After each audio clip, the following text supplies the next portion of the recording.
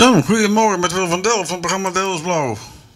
Goedemorgen. Morgen, hoe gaat het met je? Goed, goed. Ja? De reden dat we jou hebben uitgenodigd is vanwege de nieuwe single Als ik kon toveren. Een mooie nieuwe single Ja. is het geworden. Ja, dat klopt, dankjewel. Ja, vertel wat over die single. Ja, er stond weer een eh, nieuwe single eh, in de planning. En uh, is toen weer bezig geweest. En die is toen eh, met Frank van Nette een liedje gaan schrijven. En Manfred heeft zelf ook een liedje geschreven. En Ja. Carlo van Helemaal Hollands. Dus ze hebben drie liedjes gemaakt. En daarvan kon ik eentje kiezen. En ik heb die van Frank van Nette gekozen. Ja, ik draai dus juist ook een ander van jou ga dan. Hè? Die, die is ook weer eh jaar, anderhalf jaar geleden. Even kijken. Zo 1, 2, 3. Volgens mij juli 2019 als ik het Ja. goed heb. Ik moet wel zeggen, en dat is heel erg eh, positief bedoeld voor jou, dat je met dit nieuwe single Als ik kon toveren, het is net dat het je stem een stuk volwassen aan het worden is. Ja, dat klopt, want ik heb ook de baard in de keel gekregen. Ja? Ja. Hoe, hoe, hoe is dat gegaan? Ja, eigenlijk heel gemakkelijk. Ja? Want eh, toen, een week daarvoor ben ik toen naar Manfred gegaan. En toen zei ik kreeg de baard in de keel, maar ik had het zelf helemaal niet door. Dus toen met het inzingen, sloeg hij ook wel een paar keer over en zo. Maar ja, het is goed gegaan. Ja. De- de- Deze single is, is ook de samenwerking met Manfred Jongenillers, hè? Ja, klopt. En eh, met Frank van Nette. Ja, ja.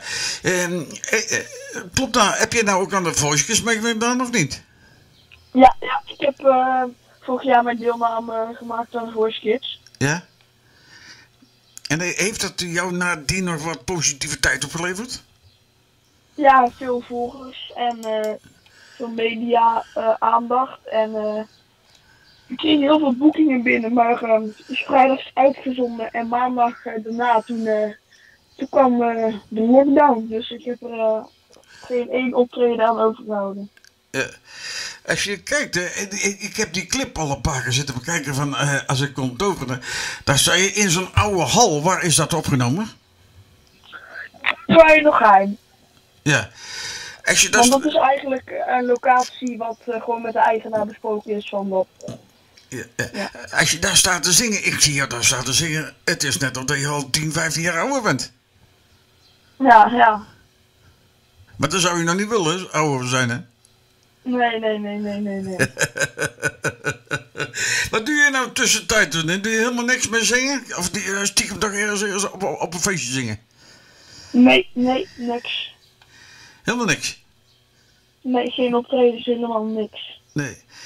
Dus we gaan de, de, eh, de single draaien. En even voor, even voor de luisteraars, als ze meer willen weten, Sam, waar kunnen ze meer informatie vinden over jou?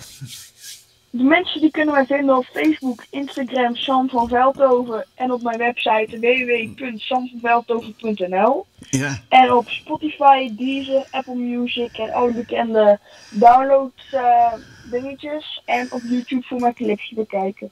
Oké, we gaan de single draaien. Eh, op de eerste plaats heel erg leuk hier gesproken te hebben vanmorgen hier. En je, mag, je, mag hem zelf, je mag hem zelf aankondigen, de single. Kondig hem maar aan. Hier is Sam van Veldhoven met Als ik kom toveren. Ik wens je nog een fijne dag en tot de volgende keer. U Groetjes. ook. Doei doei.